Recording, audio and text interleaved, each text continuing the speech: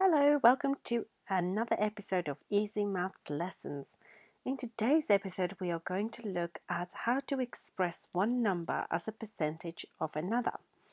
Now, if I look at the very first example, it says express 18 as a percentage of 50. Now, in simple terms, that means if you've done a test and you got 18 marks out of a total of 50, then it's 18 correct out of 50 and what that is as a percentage. So I'm going to show you two methods. So first the non-calculator method and then the calculator method. So in the non-calculator method, I need to try and find um, a denominator that is equal to 100. So if this one is 50, if I times both sides by 2, then my denominator will be out of 100. So and we know from previous experience that anything out of 100 is always a percentage. So 36 out of 100 is a percentage, so 36%. On a calculator, however, much easier. All I have to do is 18 divide by 50. That gives me 0.36. But because I want a percentage, I need to times by 100. So 36%. Easy, huh? Okay, Let's look at another example.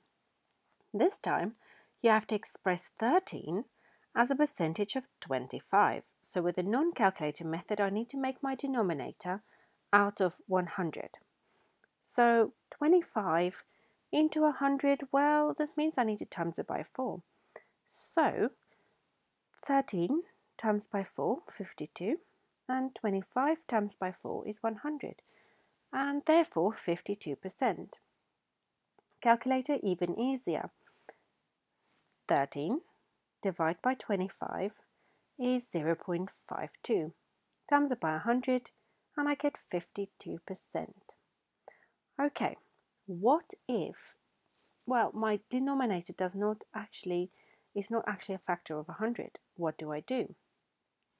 So in this case, I've got 15 and I can just do a simple simple division sum. So 15 goes into 9, uh, cannot go into 9, so I need to put a 0 on top with a decimal point. Now if I put a decimal point here at the top, I must put a decimal point with a 0 at the bottom.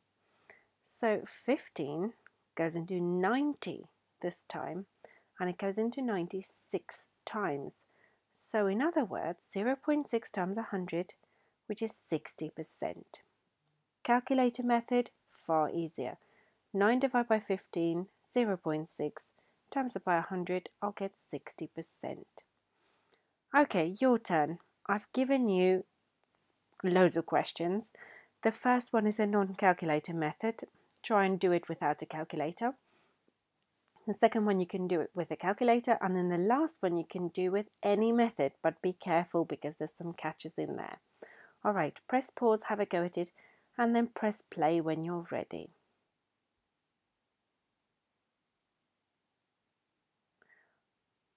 Alright, let's look at the very first two questions. Answer for the first one is 30%, answer for the second one is 50%. For the second set of questions, it was just a calculator method, so pretty straightforward. 1 8 divided by 24 times by 100 but be careful because this one was a recurring. So I will have a decimal at the end I've rounded it to one decimal place. And on this one I've got 12.5% here's the catch.